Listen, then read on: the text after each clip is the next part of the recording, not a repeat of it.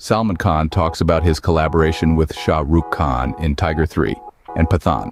He reveals that their off-screen chemistry is even better than their on-screen chemistry. Salman emphasizes the importance of understanding their off-screen camaraderie when their on-screen chemistry is so good. He also addresses the rivalry between their fan clubs on social media, urging fans to treat Shah Rukh as their brother's brother. Salman expresses his lack of understanding toward negativity and trolling on social media, and mentions that it doesn't bother him or Shah Rukh.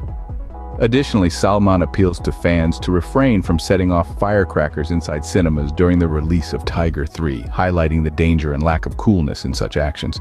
He urges fans to enjoy the film responsibly, and suggests offering milk to poor children instead of pouring it on his posters.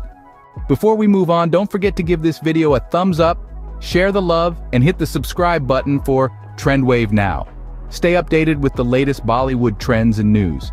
And remember, every click supports our mission to bring you the best content.